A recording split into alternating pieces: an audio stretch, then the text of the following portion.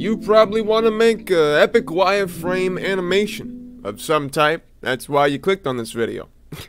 hey guys, welcome back to Tuts by Kai. I'm Kai, and today we are back in Blender once again, taking a look at a wireframe animation with some cool, like, building features. It kind of just does some cool things. Um, and it's super simple, really easy. You guys always ask me for animation stuff, uh, and this is a really, really pretty cool one. So, I'm going to go ahead and uh, hit uh, delete on default cube. I'm sorry. And I'm also going to go ahead and hit uh, our camera. So that's our camera. Alt G, Alt R to clear the rotation and location. RX 90 on my numpad. Left click to confirm that. G, Y on my numpad. G, Y on my keyboard, sorry, to move the camera backwards. And 0 to go into the camera's view. Now, we got all that set up. Hit Shift A to add a mesh. And this mesh will be Suzanne and the monkey. It'll be whatever you want it to be. But I'm going to use Suzanne today uh, because she has a lot of uh, faces. Uh, she's two-faced.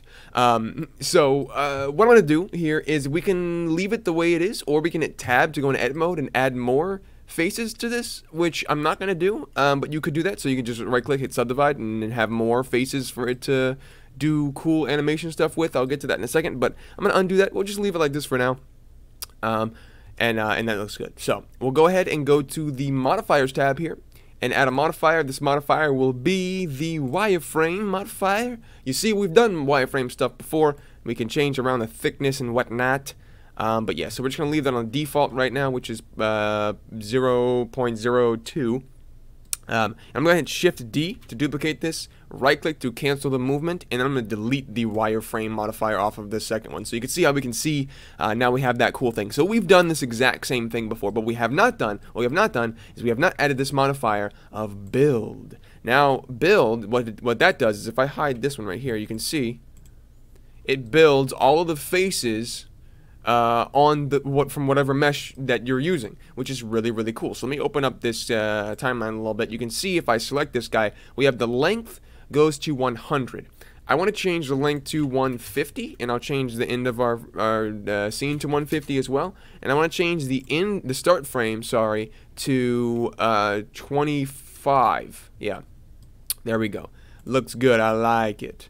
All right, so um, now uh, on top of doing this, I can hit Alt H to unhide anything we've hidden, which is our wireframe, and I want to animate the wireframe because this is going to look super sweet. So on frame 30, I want it to be this thickness. So I'll hover my cursor over top of the, the word thickness, hit I to animate that, of course, and then go back to the first frame, um, which I will not put to zero today, even though it's pet peeve of mine, you know. Uh, we will go ahead and turn the thickness to zero, and then hit I right there. So now when we uh, scrub this, you can see the wireframe kind of comes out of nowhere, which is cool. It looks like a spider web, like Spider-Man's coming to save the day. Looks super cool. Oh, memories of the 2000s.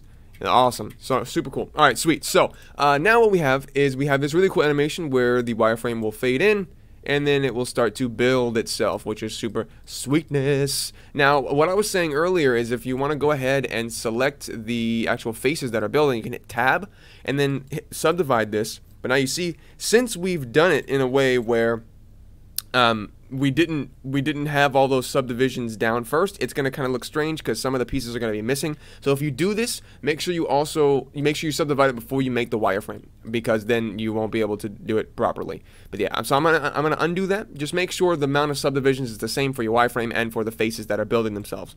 So it looks super cool. So now what we need to do is i want to give a little bit of like a maybe a matrixy kind of vibe to this. I don't know. I just kind of thought of a matrix. I don't know. So we'll select the wireframe here. We'll hit new on that and of course, I'm going to go ahead and change this to emission.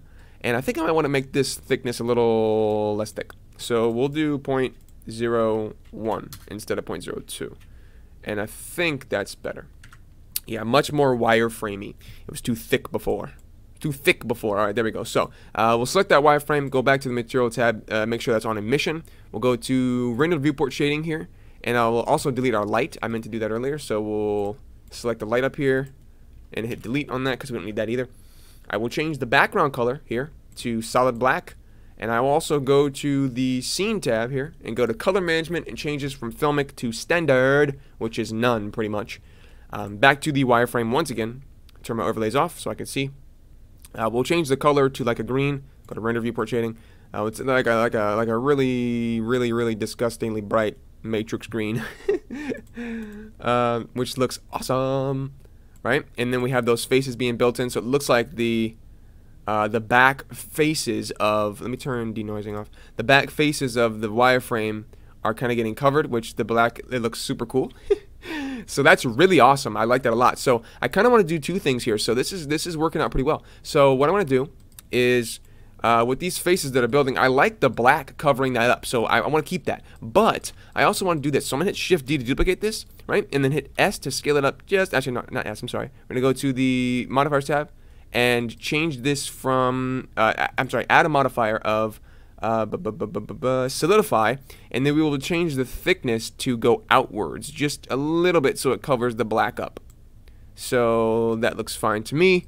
Eh, maybe a little less than that. Maybe we'll do point zero zero five point zero zero two, just enough to cover the black ones that are that are coming out and doing the cool thing. So now we have that. I want to make sure the ones we just created, the one with the solidify modifier, I want to make sure that is not starting at the same time. So I want this to start at we're gonna have to change our in frame back to 250 for this to finish. So I want I want this to start at maybe 60, maybe 100. Yeah. Okay, so now I want to change this color so I can see the difference here. So we'll add a new material, um, and we will make this material really metallic. And let me go to rendered so I can see. And now I want to make sure specular is on. I want to make sure roughness is all the way down. And we can go ahead and add in a lamp, a point lamp, Shift A to add that in, by the way. Uh, GY to move that backwards, so about right there. And maybe I'll go ahead and pull it back a little bit more like that. And you know what? Let's just do sun. Let's let's do a sun. Let's change it to sun over there in the lamp uh, settings. And then RX. Yeah, sure, why not? Alright, so that looks fine. I think it's too much there though, so we'll do that. I'll hit Shift D to duplicate that, and then I'll put one going upwards. I just want to get some cool looking reflections on this, so I'll hit Shift A, add in another point lamp, and then GY to move it to the front. Um, I like it. I like it. I like it. I like it. So, so now you won't see any of this. Let me grab. This is the first face, so I don't want this one to have any kind of blackness on it. So that this one we need to add a material to this. This is the face that builds first. This isn't the shiny one. So I want this one to be solid black. So we add a new material, change base color to black, and turn specular all the way off, roughness all the way up, even though it doesn't matter. We just turn it down. Doesn't matter. All right. So now we have this when we play it. So let me turn my overlays off and play it. There we go. That comes in, the black covers up the back faces, and then it starts with the reflective ones, which is really cool. All right, um, now there seems to be a problem here. If I grab, if I grab this, where's the? I can't see the lamps because because the yeah there we go. All right, so uh, we have all these lamps here, but it seems like it's not doing too much back here anymore. So, yeah, we need to. Is it even getting back there? All of that is all of that is filled in. Okay, good. So sweet. All right, so let me go ahead and metallic. The metallic. Let me do not do the metallic all the way up. The metallic doesn't need to be all the way up. That's a little much. So 0.975 maybe. 0.97.